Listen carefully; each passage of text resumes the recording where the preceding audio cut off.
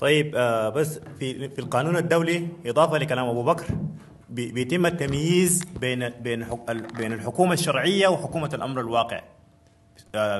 de jure government و de facto government بالنسبة للنقطه المهمة اللي هو ذكرها إنه كان من الممكن أو حاليا من الممكن بالنسبة لقوى الحرية والتغيير وهم لقوا اعتراف نسبي يعني في عدد من من ال- ال- المحافل الدولية بدليل إنه ال- الأمم المتحدة الولايات المتحدة الأمريكية عدد من السفارات في الخرطوم آه، بيدعوا المجلس العسكري إنهم يتفاوضوا مع قوى الحرية والتغيير باعتبارهم ممثلين للثورة وهم صوت الثوار في المفاوضات.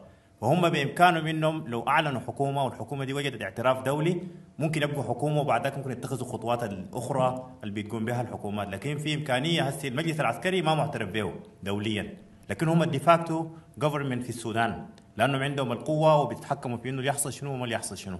لكن ديل ممكن يكونوا الحكومة الشرعية إذا الأمور تأزمت ممكن يعملوا إعلان لحكومة وكان مولانا حسنين ربنا يرحمه اقترح الكلام ده وقال له بصورة آه، واضحة يعني يتكلم فيها. فيما يتعلق بمسؤولية ال- الجنجويد قبل ما يتكلم بصورة سريعة عن مسؤوليتهم في نقطة مهمة جدا الناس لازم يركزوا فيها. الجنجويد ما مشكلة الدولة السودانية. الجنجويد مظهر من مظاهر أزمة الدولة السودانية. عشان كده أنا شايف الكلام يتركز حول المؤسسة العسكرية أو في المقام الأول.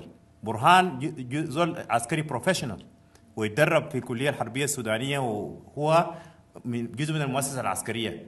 كباشي والناس الآخرين الموجودين معاهم ديل عساك- عساكر professional يتدربوا ويتعلموا كعساكر.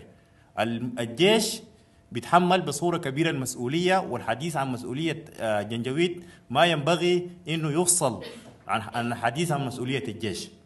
في الانترناشونال لو حاليا في نظامين لل... في نظام أساسي للمحاسبة قائم على المسؤولية الفردية.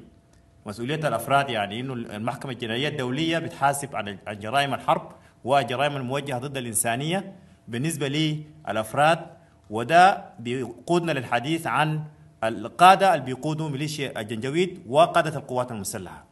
إنه هم ممكن يعني ترفع ضدهم قضايا أمام المحكمة الجنائية الدولية و- ودي مسألة بتتوقف على إمكانية تصنيف الأفعال اللي بيقوموا بها حاليا بأنها هي واقعة تحت اختصاص المحكمة الجنائية الدولية. هل هل هي جرائم موجهة ضد الإنسانية ولا جرائم حرب؟ وهي جرائم موجهة ضد الإنسانية زي ما تكلمنا قبل.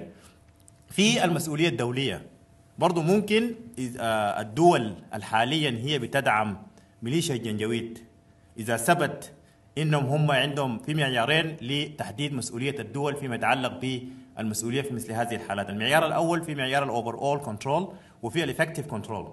إذا هم عندهم overall control أو effective control على ميليشيا الجنجويد حاليا ممكن الدول دي ترفع قضايا ضدها في في عندما تأتي الحكومة الشرعية في السودان لأنهم هم ارتكبوا مخالفات وفي قضايا موجودة في في المسألة دي يعني في قضية رفعت ضد الولايات المتحدة الأمريكية في محكمة العدل الدولية قبل كده وأصدرت فيها المحكمة قضية كانت بين نيكاراغوا والولايات المتحدة الأمريكية بيدرسوها في كل كليات القانون في العالم.